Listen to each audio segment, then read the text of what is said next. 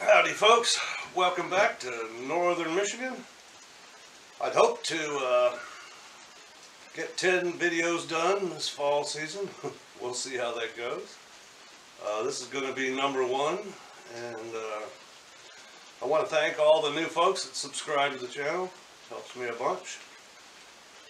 And the first part of the trip, uh, we were, my brother was here and we did a couple runs out on the lake. Caught, caught a few rock bass and uh, my brother caught a steelhead and I was able to hook a smallmouth on a very odd rig and let me get to the details. Here's that steelhead, my brother caught. Uh, it was getting dark. It was impossible to video at that time.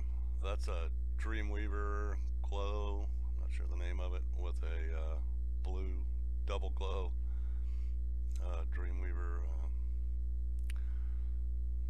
8 inch. Here's that uh, smallmouth bass.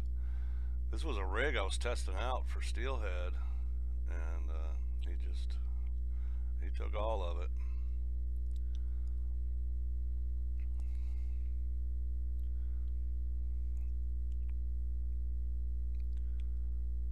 Gorgeous fish.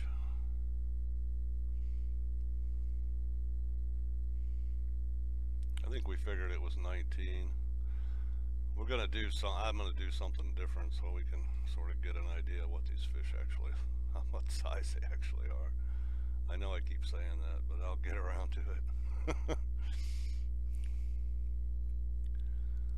They're so dark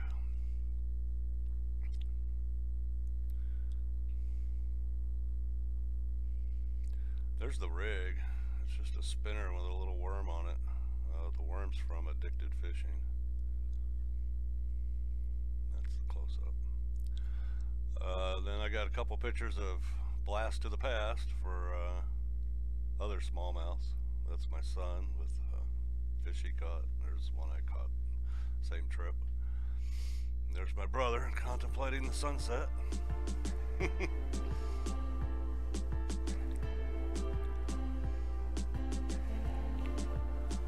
fun to do this, folks. I uh, hope I can uh, generate the 10 that I set out to do.